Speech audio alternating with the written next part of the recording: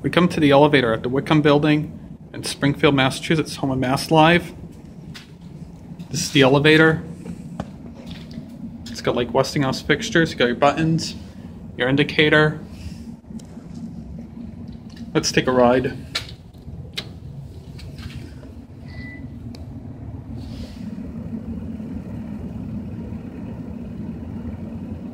It's probably here on one.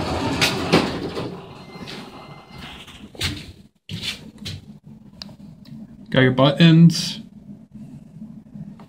Let's go to four.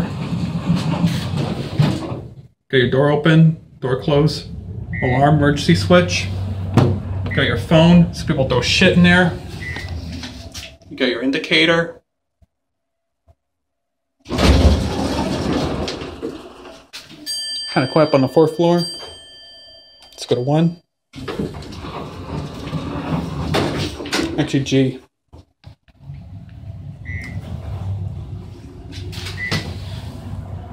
Your inspection sticker, 25 inch pounds, 350 feet per minute. I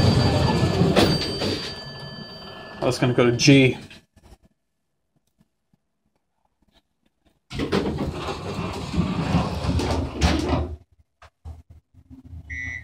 Here's the indicator.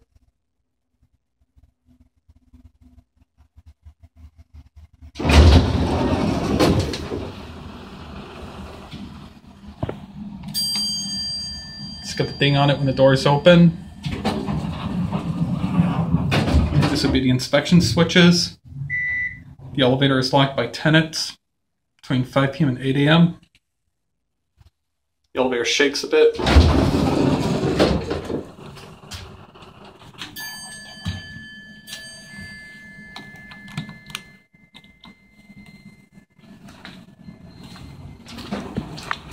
And then we watch doors close.